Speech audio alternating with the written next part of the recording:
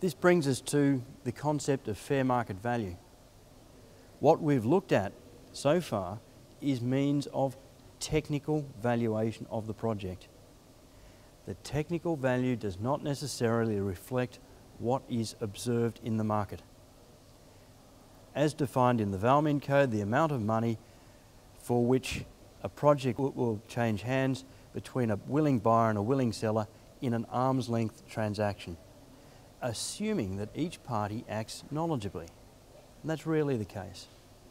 It's important to note that net present value does not represent fair market value.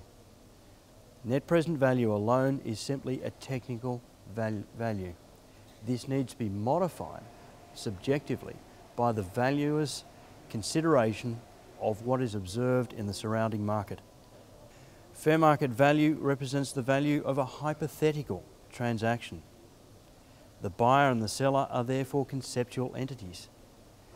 Both parties have symmetrical information. information. This is never the case. Fair market value also assumes that neither the buyer nor the seller are under any compulsion to partake in the transaction. And there are no special conditions that would cause one buyer to pay a premium or a discount to the fair market value. This is very rarely the case because external factors that affect the asset value, overall market conditions, commodity prices, currency exchange rates, and significantly, political risk. All of these are unknowns that cannot be uh, accurately forecast but need to be incorporated into the valuation. As a professional mining engineer and geologist, one aspect that is very subjective that absolutely informs evaluation is the credentials of the management team. Poor management can destroy a very good mining project and this needs to be recognised. It's a completely subjective judgment on the part of the valuer but it's one that must be made and incorporated into the final valuation. It's useful to look at the manner in which commodities are priced. In a typical commodity cost curve of production, cost of production per unit of metal in the ground against the population of operators and the number of mines globally. There is a certain population that has a negative uh, cost of production. These are the cases where a commodity is produced as a byproduct. For example, copper being produced as a byproduct of nickel mining. The first tier of the cost curve are the low-cost operators. Typically, these mines are owned by multinationals, the larger mining companies. They're very low risk, they have low energy costs, and they are large, high-grade operations. Most mines sit on the second tier, the medium cost operators, fairly new mines, fairly average economics, um, that supply uh, a significant proportion, but perhaps not the bulk, of the globe's uh, commodity requirements.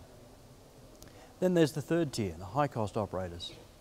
These may not necessarily be bad mines, but typically they're fairly small, fairly high grade, and are reactive operations that will open uh, when commodity prices are high and close when commodity prices are low. The cost of uh, the spot price of any commodity at any point of time is therefore the median cost of production for that commodity on this cost curve plus a margin, typically of around 10 to 15 percent. At the moment iron ore is trading at around about $50 a tonne I know for a fact that the median cost of a production for iron ore for producers around the world is in the order of $40 per tonne. So the current iron ore price is no surprise to me. If there's no infrastructure for a bulk commodity, uh, then the project has very little value. Uh, we're seeing this very much in Western Australia with the junior iron ore projects there.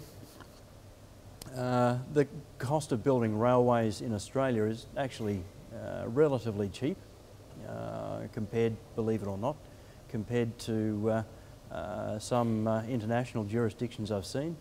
However, the fact is that a lot of these projects have to build 400 kilometres worth of railway or make arrangements with existing um, railway owners.